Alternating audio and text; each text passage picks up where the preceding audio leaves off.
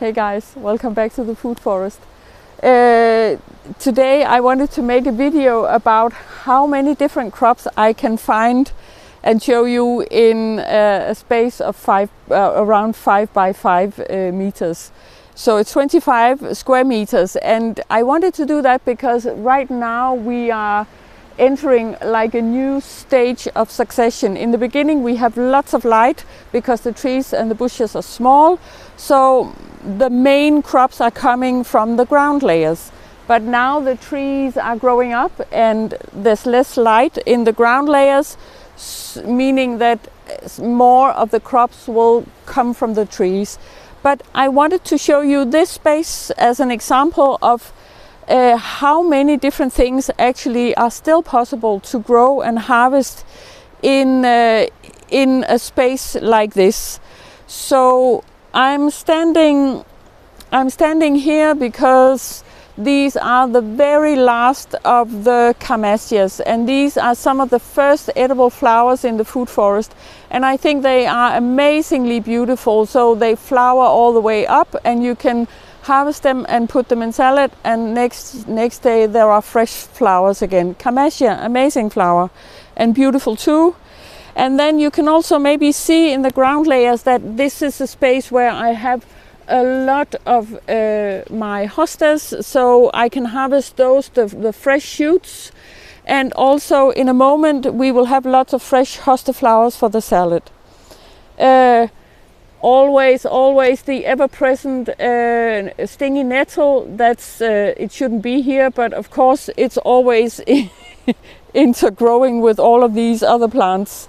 But the hostas are here and actually I see also these amazing uh, leaves of uh, the lungwort and I these are also edible but I I only eat a few leaves uh, in the very early spring and I do that because I value diversity also in my stomach but other than that I think they're too hairy so we don't really harvest them much but they're much loved by bees. It is a crop, it could be a crop if uh, a famine suddenly hit us. Um, and then you can also see I'm, uh, I'm right beside this Tilia cordata. It's, uh, oh, it's a Tilia cordata, it's a lime tree. And uh, the lime leaves are edible and the flowers are amazing for teas. But uh, I think right now they are super delicious and you can see some of the fresh at the, at the end of the branches, uh, the leaves are super fresh and soft and delicious. So these are valuable in, uh, in the salad bowl.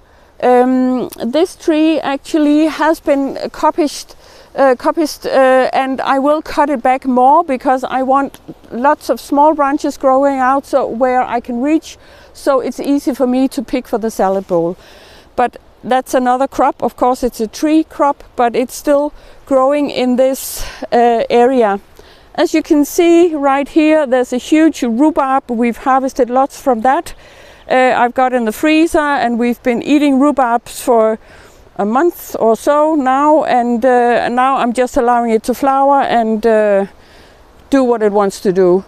Right beside that is uh, the sedum, uh, Sankt uh, you can see it's one of my uh, largest patches of those.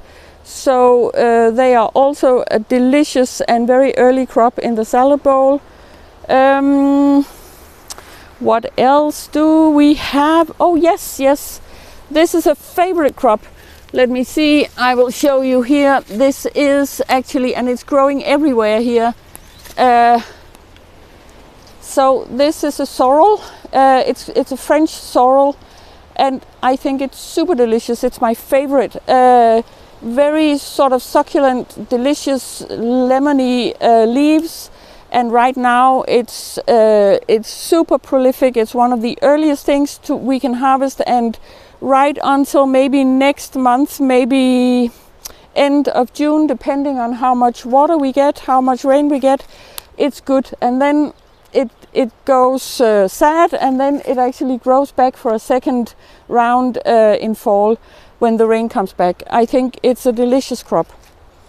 Um, we also have lots of raspberries and they are growing wild. I need to reduce some of them, uh, but uh, in a month's time or so we will have the first raspberries. Amazing. Um, apples right beside me. That's another delicious crop. Uh, these are red aromas. And um, what else do we have? Um, then the uh, the ever-present uh, fennel, of course, is also there. It's an indispensable crop for us. Uh, every day I eat it just for fun uh, when I snack in the garden and always in the salad bowl. I love it. Um, as you can see, there's also here lots of cherries. Uh, in a moment we will have those if we get to them before the birds. And uh, what else do we have in the vicinity? Um, well, actually, in in here under the apple tree uh, are three quite important crops for me in the food forest. So as you can see, well, the ever-present fennel again, but lots and lots and lots of these lovely daylilies. And they don't mind the shade. They might not flower as much, but they actually don't mind the shade like this. And uh, then maybe in the depths of all of this, uh, these are Martagon lilies and they are also edible and super beautiful. So actually I've got quite a good uh, thing going here and as you can see they, they tolerate quite a lot of shade and they will still flower and they are also really delicious flowers. And last but not least is this, uh, this is a Malva. Um, I don't remember which one, but it's a Malva anyway. And it's one of the, the crops we've been harvesting for quite a while now.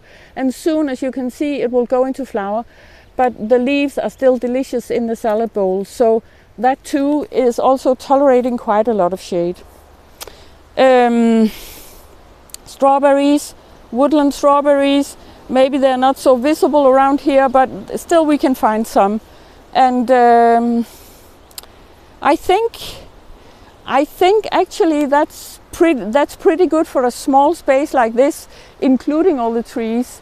And uh, there's uh, well there's a black currant also. We need the berries too, so black currants right over there, and plums. And I mean I can go on and on and on, but I think it's interesting to see that actually if you allow if you work on allowing a bit of uh, light into the ground layers, you can actually continue harvesting a lot of crops from there. And, uh, and I should maybe also say that now the food forest is eight years old. We started uh, eight years ago. So uh, we are sort of in the middle of succession uh, and it's, it'll be interesting to see what happens next and how things progress. I will keep you posted. Thanks for watching. See you later.